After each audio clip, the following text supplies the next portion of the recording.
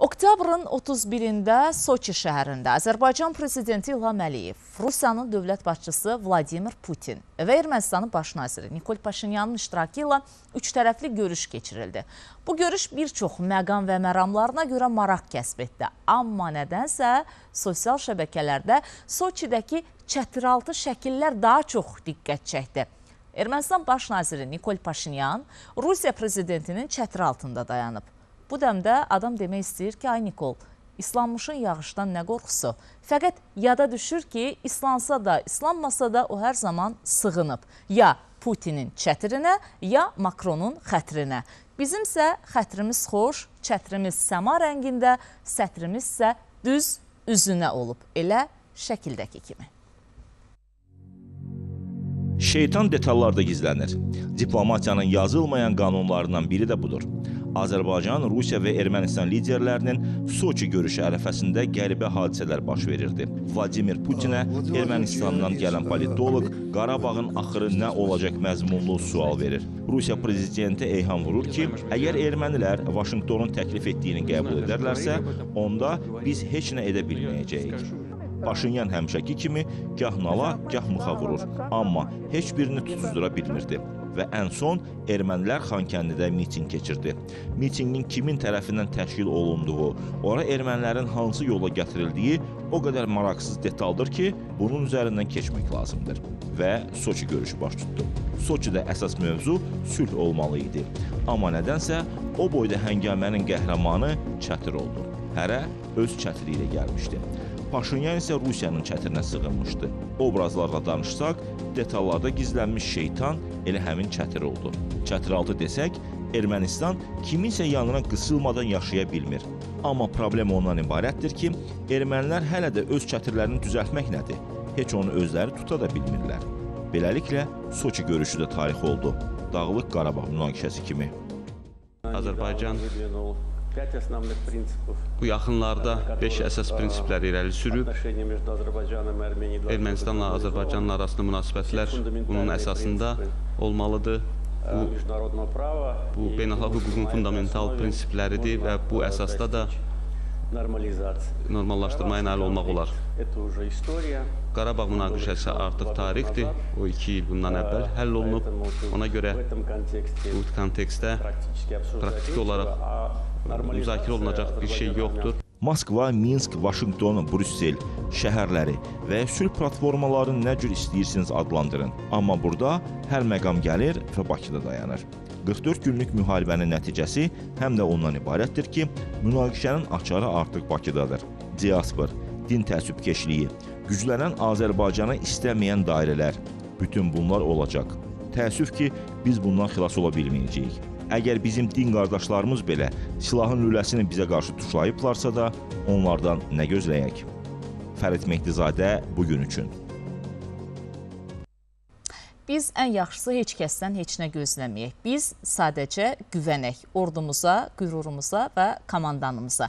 44 gün vuruşduq, amma az qala artıq 744 gün olacaq ki, vuruşurlar, çaxnaşırlar. Çünki qalibiyyətə layiqlilərin uğurlarını həzm etmək çətin olur. Biz isə çətinə salmağı yaxşı bacardıq. Davam edəcəyik. İranda ixtişaşlar nəinki səngimək bilmir. Etirazların dalğası getdikcə böyüyür. Narazı xalqın qarşısında dura bilməyən hökumət qüvvələri isə daha radikal üsullara əl atır. Haqqını tələb edən Azərbaycanlı fəallarsa dərhal həbs olunurlar. Ana yurdum vətənim Azərbaycandır bura. 7-8 dikədir, amma bir ustandır bura. Dili var, şökəti var, qeyrəti vardır buranın. Millət isbat eləyib, qeyrətə ilmandır bura. Bura dəryayı məhəbbətli məhəbbət bilənə. Ehtiram saxla ginam. Soğqol İrandır bura. Buranın Ankarası Balçı kimin qardaşı var. Dünyanın Türkeli birlikdə nicəhbandı bura. Biz şəhid vermişik öz xittəmizi saxlamağa. Bilirsən düşməninin qanunun axıdandır bura.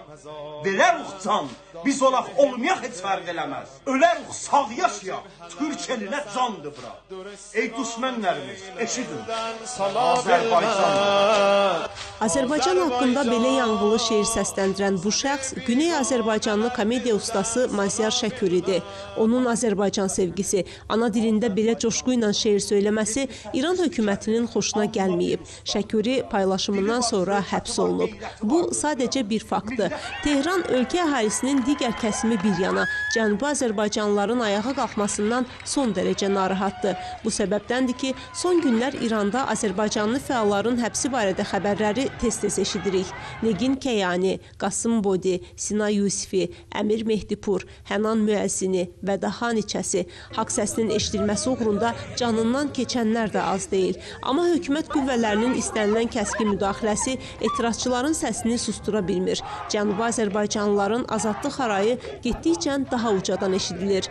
Özlərini Babəkin əskərləri hesab edən Təbrizli tələbələr biz ölməyə hazırıq, Babəkin sərbazıyıq. Saçlarım azadlıq bayrağıdır. İpi çəkdikcə ucalarda əsəcək deyərək Fars rejiminə meydan oxuyurlar.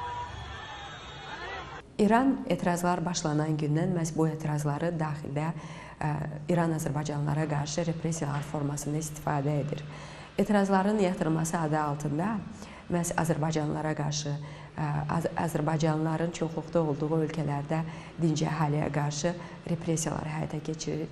Baxın, etirazlar İranın bütün ə, ərazilərində, bütün şəhərlərində olduğu halda ən çox insan məhz etnik Azərbaycanlıların çoxluq kompaktda yaşadığı ərazilərdə ən çox öldürülən ə, insanlar da məhz etnik Azərbaycanlılardır və ən çox ə, güc qüvvələri, təhlükəsizlik qüvvələri də məhz daha çox ə, Azərbaycanlıların yaşadığı, etnik türklərin yaşadığı ə, kompakt yaşadığı ərazilərə yerləşdiriliblər. Və bu əslində İranın uzun müddətli hesabda həmişə özünə qarşı hədə kimi dəyərləndirərək daxildə geniş repressiyalar apardığı bir addımdır və bu siyasət həmişə İran tərəfindən həyata keçirilib, amma indi xüsusi aktiv İranın hazırki rejiminə etimadsızlıq getdikcə güclənir. Mollokratiyanın simvolu olan əmmamələr indi ələ salma vasitəsidir. Fars rejiminin zorla sevdirdiyi qəhrəmanlar da xalqın gözünə cin şeytan kimi görünür. Qəzəbli etirazçılar ürəklərindəki alovu Qasım Süleymaninin, Xamneyinin şəkillərini yandırmaqla söndürürlər.